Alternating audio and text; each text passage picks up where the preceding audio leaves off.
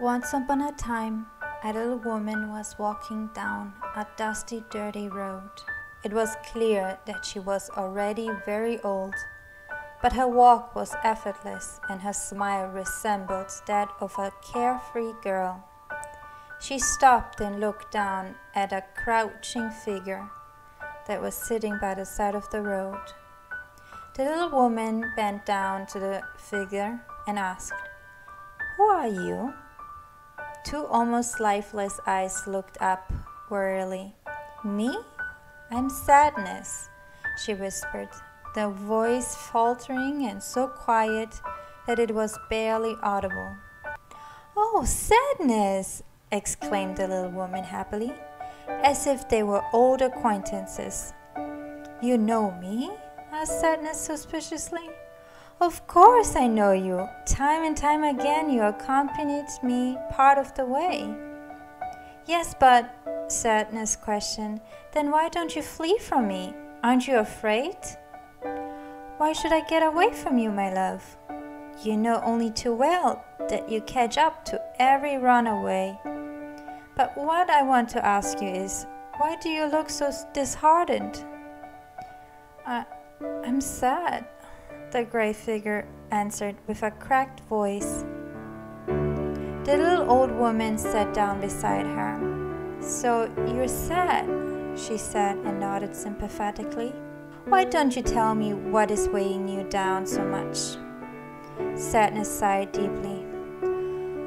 Oh, you know, she began hesitantly and was amazed that someone would actually want to listen to her. It's just that no one likes me. It is my destiny to go among the people and stay with them for a certain period of time. But when I visit them, they shy away. They are afraid of me and avoid me like the plague.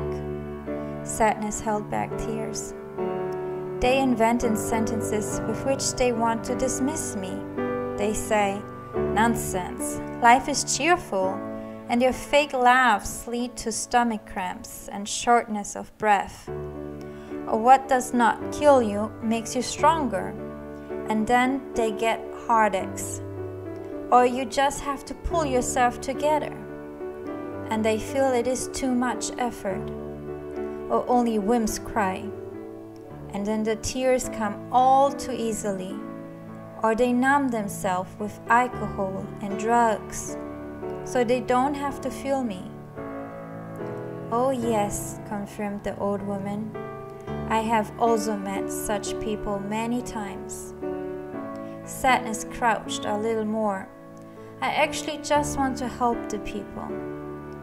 When I'm very close to them, they get to meet themselves. I help them tend their wounds. Those who are sad have particularly thin skin some suffering reopens a poorly healed wound, and that hurts a lot.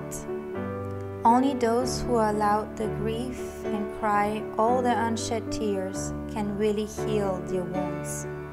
But people don't want me to help them with that. Instead, they paint a smile over their scars, or they put on a thick armor of bitterness. Sadness fell silent. Her crying was weak at first, then it got stronger, and eventually turned into sobbing. The little old woman took the slumped figure comfortingly in her arms. How soft and gentle she feels, she thought, and tenderly caressed the trembling bundle. It's okay to cry sadness, she whispered lovingly. Rest so that you can regain strength. From now on, you should no longer walk alone. I will accompany you so that discouragement does not gain more power. Sadness stopped crying. She sat up and looked at her new companion in amazement. But, but, who are you? Me?